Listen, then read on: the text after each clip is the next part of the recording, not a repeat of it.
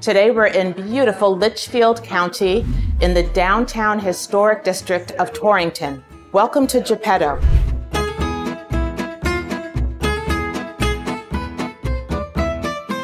Hello, welcome to Geppetto. Thank you. Here, take a look at our menu. Beautiful menu. Let me introduce you to my son, Federico, the chef. Hi, Alika. Hi, Federico. What delicious Italian delight are you making for us today? Today we're gonna make bucatini alla matriciana. It's a classic Roman dish. Let's do it. So we're gonna start heating up the pan a little bit and we're gonna add our guanciale. Guanciale is a cured meat made out of um, pig jowl.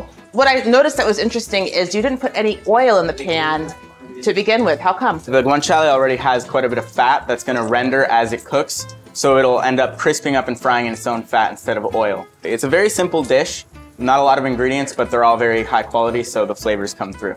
So what are you adding now? Is that water? Yeah, so I'm just putting a, a smidge of water into the guanciale as it fries. It'll stop it from burning so hard, and then the guanciale will become a little bit more crispy. And you're leaving the fat in the pan. You know, without leaving this in there, that, you know, the texture is gonna get kind of soft. You're gonna lose that nice crisp. So I'm gonna add this tomato right here. Add a good pinch of black pepper and a little pinch of salt as well. And we'll cook it at a nice slow heat.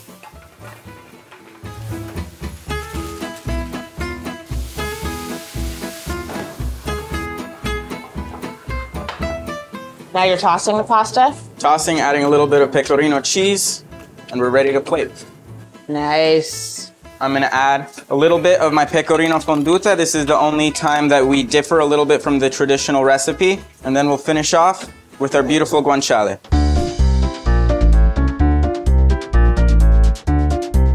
And what's your perspective? Um, Geppetto's has become my favorite restaurant in the area. The reasons for that is the charm, the experience. Every time you come here, there's a great buzz. Such a warm and homely environment to come into, and that really stands out from other restaurants that we've ever been to. Michelle and Carlo are wonderful, the staff, and the food is great. Our favourite thing to do is to come in and sit at the bar, have a craft cocktail. They make a mean old fashioned.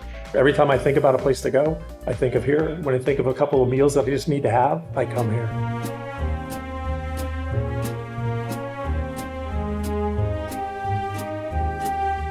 Thank you for taking the time to talk with us today, Michelle. You and your husband, Carlo, opened Geppetto's here in Torrington. Tell us about that. We moved up here 13 years ago to raise our children to nearby New Hartford. And meanwhile, we still were managing our restaurant in Brooklyn, Convivium Osteria. We were considering other towns, but this just ended up being perfect. Tell us about some of the artistry in here. We wanted to make you feel like you're stepping into a countryside restaurant in Tuscany or wherever. And so that's what we set to do with wood, with masonry, with copper, with lots of European urns. And it's very rustic and homey and you, you get a like a one day vacation into the European countryside. And you're right next to the Warner Theater. Do you get patrons from the Warner Theater? The Warner is a draw. There's all kinds of great things happening at the Warner now. A very interesting show happened about a month ago where an Italian pop star came on a Sunday night. It was a group. They're, they're called Il Poo. Italians from all across the country came to Torrington oh. from early dinner, lunch, and then after. We had all Italian speakers in here. That must have been fun. It was the craziest thing. It was great. You just started live music. Tell us about that. Starting for every third Sunday of the month,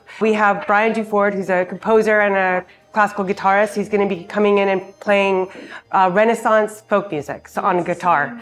So it's going to be very interesting. And speaking of, what about the dishes? To start off with, we have carciofa alla romana, which is a Roman-style braised artichoke heart stuffed with mint and parsley and garlic. And we also serve a beautiful prime ribeye, and then we use a Umbrian truffle butter. The steak is extremely tender. It's really good and somewhat shareable. We also have agnolotti, which is like a ravioli, looks like little pillows, and it's with slow braised veal and uh, leeks. And then it's served with a fonduta of toma piemontese and uh, parmigiano reggiano. And then we also have a tagliatelle al ragu, which is a typical meat sauce, veal, pork, and beef. Beautiful tagliatelle fresh pasta made here, just like little ribbons, but not as wide as the pappardelle. So whether you're in the mood for romance or just a night full of good food, Geppetto's is the place to be. Thank you. Thank you.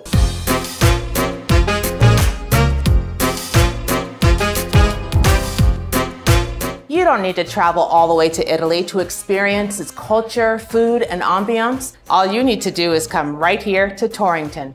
That's my perspective. Hey, New England, what's your perspective? Geppetto in Torrington.